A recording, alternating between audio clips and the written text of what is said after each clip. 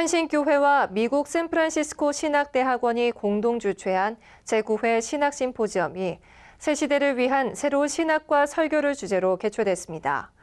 목회에 대한 새로운 접근법을 제공하는 자리였습니다.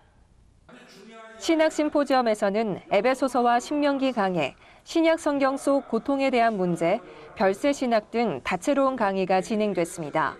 한신교회 강용규 목사는 목회자들이 분명한 신학을 갖고 복음을 전해야 한다고 말했습니다. 샌프란시스코 신학대학원 제임스 맥도날드 총장은 예수의 희년 선포가 공적 사역의 시작이며 징벌과 폭력을 깬 부활은 하나님의 능력이라고 강조했습니다.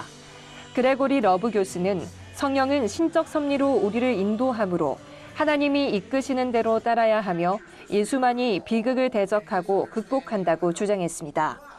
예일대학교 그레고리 스털링 교수는 세상 속 일치 연합은 정치적 동기가 아닌 교회를 통해 이루어지며 에베소서 교회처럼 인간 사회 속에서 하나님의 사회를 발견해야 한다고 밝혔습니다.